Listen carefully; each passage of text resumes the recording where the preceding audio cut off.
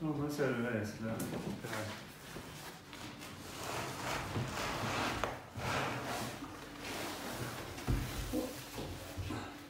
De kan jo ta på den. Den tåler jo litt, da.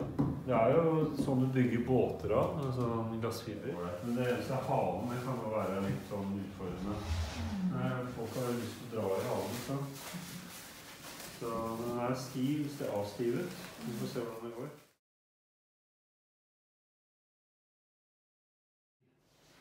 Og da var det ganske fort at jeg tenkte egentlig tidlig på idéstadiet at jeg tenkte Maria og Josef var på en måte slags flyktninger. Eh, Eller noen som ikke hadde et sted å være. Fast sted å være, som var på vei. Da. Og da ble det veldig Da var det jo nærliggende å tenke at det kunne relateres til vår tids flyktningeproblematikk. Uten at det liksom skulle være hovedtema, men det på en måte Det kunne lett overføres sånn sett til vår tid, da.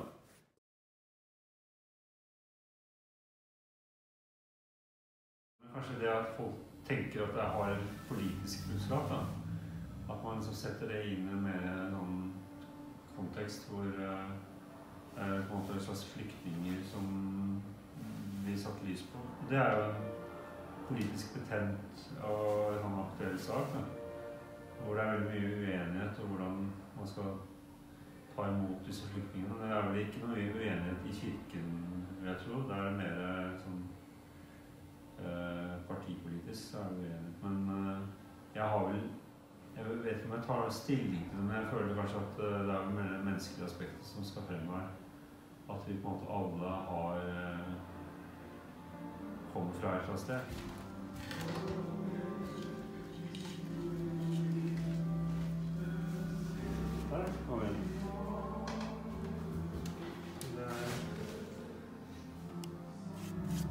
Alt er stivt her, da, men det skal liksom være se helt mykt ut. Så jeg har prøvd å beholde liksom, den kvaliteten i tekstilet.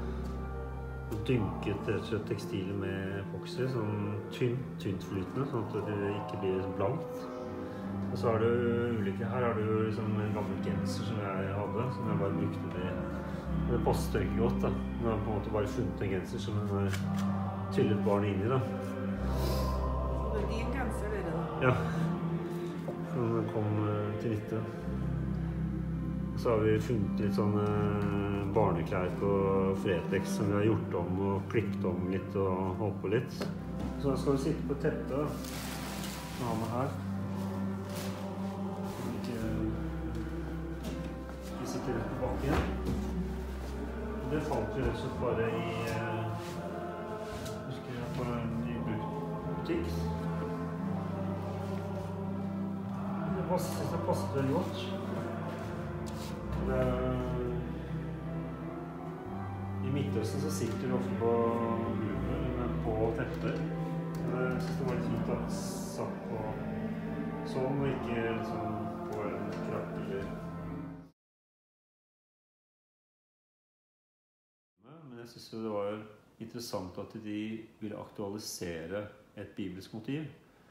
Og det syns jeg også er eh, fint at man kan oversette de historiene til vår tid, og det har jeg kanskje savnet litt eh, selv. Da. Og jeg opplever jo at man får mye mer sånn nærhet til, til historien når man på en måte oversetter det.